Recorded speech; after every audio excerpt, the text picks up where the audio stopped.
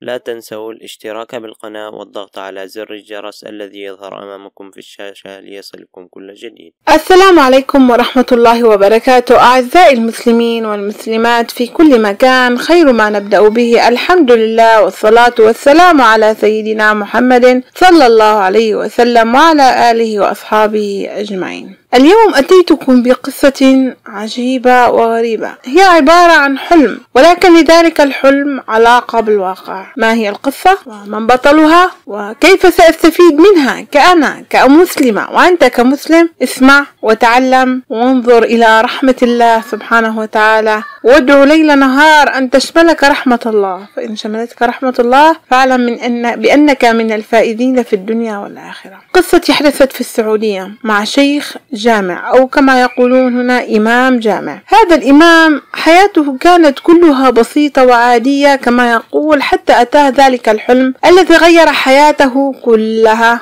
أو كما يقولون رؤيا. لا نقول عنها حلم وتفسير أحلام إنما نقول هي رؤيا ولا تفسير. كما قلت كانت حياة ذلك الإمام عادية مثل حياتي وحياتك وحياة أي إنسان. إلى أن أتى يوم وبدأ يحلم برؤية معينة تتردد عليه آه، مدة لا تقل عن عشرة أيام. الرؤيا هي أنه كان يسير في خط طويل أو كما يقولون ليس خط بمعنى الخط وإنما طريق عريض وطويل وهو يرتدي ملابس خضراء وكان يركض في ذلك الطريق الواسع. ولم يكن يحس بالضيق وإنما يحس بالراحة والانتعاش والعرق يتصبب منه إلى أن يصل إلى مقبرة. وهذه المقبرة ضخمة لدرجة لا توصف ومكتوب على اللافتة في الخارج مقبرة النسيم الغربي. وعندما يصل إلى ذلك المكان يحس بالخوف. طالما هو يركض في الطريق الطويل العريض ليس خائف ولكن عندما يصل إلى المقبرة يخاف. لماذا؟ يقول أنه عندما يصل إلى المقبرة أعزائي المستمعين والمستمعات يرى كل الموتى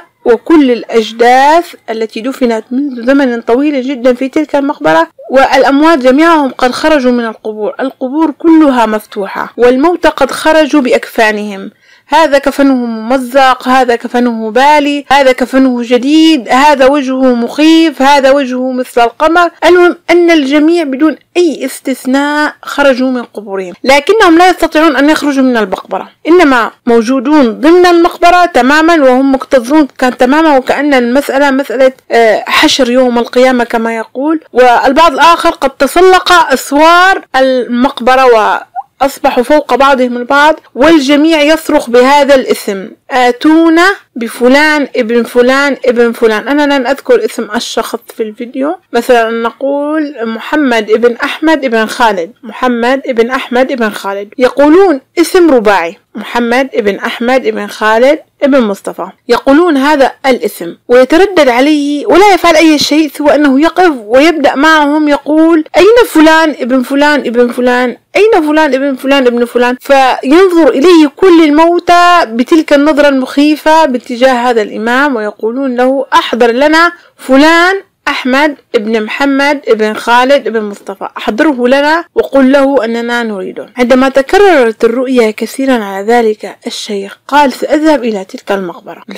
هذه المقبرة لها وجود أساسي في آه، السعودية أعزائي المستمعين والمستمعات. ذهب ذلك الإمام وبدأ يسأل جميع الأشخاص الموجودين في تلك المنطقة ولا سيما الأشخاص الذين لديهم خبرة بمعرفة القبائل والشخصيات البارزة ومن كل تلك الأمور فإذا به بالحقيقة. أعزائي المستمعين والمستمعات يتحصل على شخص له نفس الاسم الرباعي الذي تطلبه الأمر. وتحرر الأمر فإذا بذلك الشخص كان في مكة يقوم بعمرة. بالفعل أخذ رقم هاتف ابنه وقال له سأتصل بك إذا عاد والدك قل لي وسوف آتي لأزوره لأن الموضوع خطير والموضوع مسألة حياة أو موت. بالرغم من أنه عرف بيت الشخص وبالرغم من أنه أخذ رقم ابنه وبالرغم من أنه اجتهد حتى وصل إلى ذلك الشخص إلا أن الحلم لم يتركه أبدا أبدا. وما زالت الرؤيا تتردد عليه وبقي ذلك الرجل أكثر من سبعة أيام في مكة وهو يقوم بأداء العمرة إلى عنان اتصل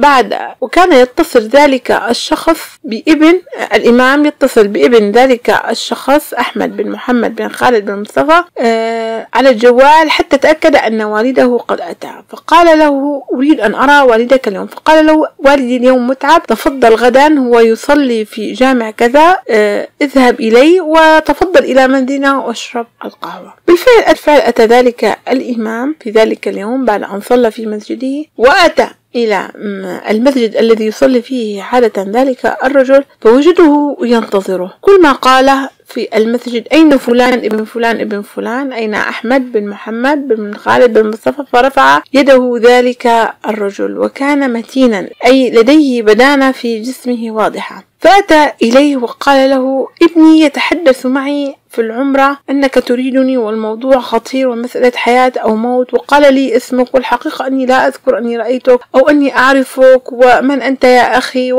فقال له أن لي قصة خاصة معك في الحقيقة والحقيقة ماذا أقول؟ هنالك أكثر من نصف مليون شخص يريدك فبهت ذلك الرجل وقال نصف مليون شخص من هؤلاء؟ قال لهم أنا لا أعرف أسماءهم لكنهم يذرونني كل يوم في المنام ويطلبون مني أن أحضرك إلى مقبرة النسيم الغربي التي هي أصلا آه، قريبة من منزلك ومن المسجد الذي تصلي فيه لأن ذلك الشخص يسكن في المنطقة القريبة من مقبرة النسيم الغربي قال له ومن يريدني من هؤلاء النصف مليون أو المليون كما تقولون أو أكثر؟ لأنك لم تعدهم. فقالوا كما قلت لكم أنه لا يعرف أسماءهم ولكنهم طلبوا منه أن يحضره أن يحضر ذلك الشخص إلى المقبرة. أخذه إلى منزله وأكرم ضيافته وبعد ذلك قال له قص عليه القصة. وقال له القصة كما رويتها لكم أنه يسير في طريق طويل ويرتدي ملابس خضراء ويشعر بتعرق شديد وعندما يصل إلى تلك المقبرة يجد أن كل من في المقبرة قد خرجوا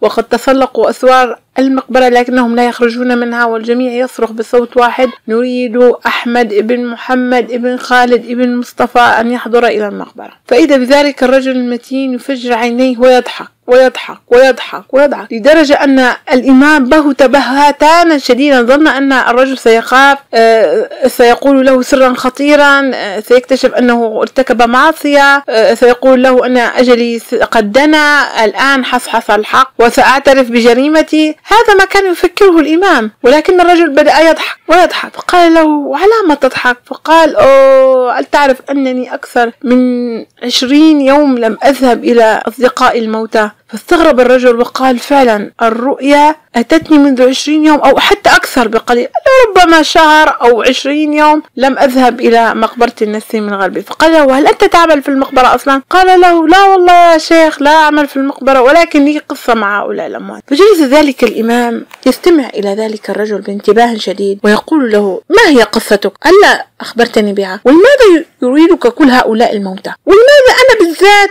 أتوا إلي حتى أحضرك؟ يطلبون حضورك وكأنك ستموت. ويجب أن تدفن معهم. فقال له ذلك الرجل الطيب الثمين. يا شيخ كلنا سنموت في يوم من الأيام وسننزل تحت التراب في الحقيقة لي قصة مع هؤلاء الأموات. أنا صديقهم منذ ثلاثة أشهر. فقال صديقهم قال نعم نعم أنا صديق. وبدأ يقص القصة عليه. قال له أنني شخص بدين. واكتشفت مع الوقت أن هنالك تعب في قلبي. وأنا أجريت فحوص كثيرة اكتشفت أن الكوليسترول مرتفع جدا لدي وأيضا لدي دهون ثلاثية في الدم وهذا المرض خطير جدا مع البدانة. وقد طلب مني طبيبي الخاص أن أسير في اليوم مدة لا تقل عن ثلاث ساعات في الصباح وساعتين أو ثلاثة حسب استطاعتي في المساء وأن أخفف الدهون وأن وأن وأن. والحقيقة أنه لا توجد أي حديقة بجوار منزلي أبدا. لذلك نظرت يمينا ونظرت شمالا. وأريد آه، كما يقولون طريق سير طويل أمشي به ولا أشعر بالغربة. فإذا بخاطري يأتي إلى المقبرة. وقلت أفضل مكان أسير فيه لأن الأرصفة في المقابر طويلة وحول المقبرة نفسها الرصيف عريض وهي بشكل شبه مربع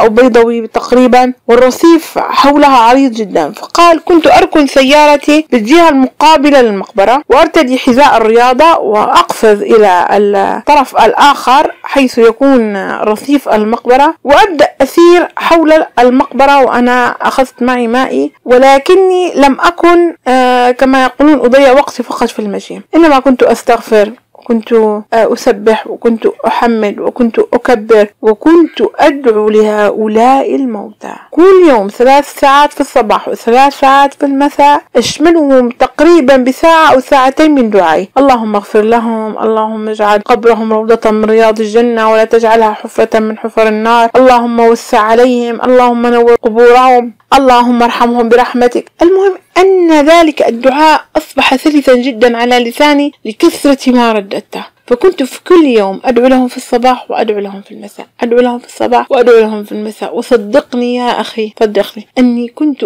أسمع في بعض الأحيان وحي من حيث لا أدري. من هؤلاء الموتى وهم يقولون آمين آمين. لذلك هم يريدونني. لا لشيء سيء ارتكبته في حياتي ولكنهم مشتاقون لأن أدعو لهم وأن يغفر الله لهم. وإن شاء الله تعالى سأعود إلى ما كنت أقوم به منذ البداية حتى وإن وأذهب إلى المقبرة وأتمشى هناك وأدعو لهم. الحقيقة أني منذ شهر تقريبا لم أعد أذهب إلى هناك لأنني عندما زرت الطبيب قال أن انخفاض الوزن كان عندك جدا ممتاز والشيء الذي سأقوله لك ولست أعرف له تفسير علمي نهائيا أن مرض الكوليسترول لديك اختفى نهائيا وأن الدهون الثلاثية لم يعد لها وجود لديك. وهذا الأمر أنا لا أجد له تفسير ولكني اليوم بعد رؤيتك للمنام عرفت تفسير ذلك وعلمت أن هؤلاء الموتى قد دعوا الله أن يرحمني كما رحمتهم بدعائي.